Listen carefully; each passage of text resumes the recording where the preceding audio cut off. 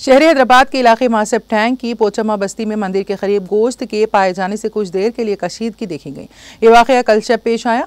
मुकामी अफराद जिन्होंने इस गोश्त को देखा, फौरी तौर पर मंदिर कमेटी के अरकान को चौकस किया, जिन्होंने इस सिलसिले में पुलिस से शिकायत की। मुकामी पुलिस इस इतला के साथ ही वहाँ पहुँच गई और इस इलाके का मुहासरा कर लिया। इस इलाके में लगे सीसीटीवी फुटेज के तजिए पर पुलिस को पता चल, चला कि एक कुत्ते के मालिक ने कहीं से गोश्त को लाया और मंदिर के करीब रख दिया।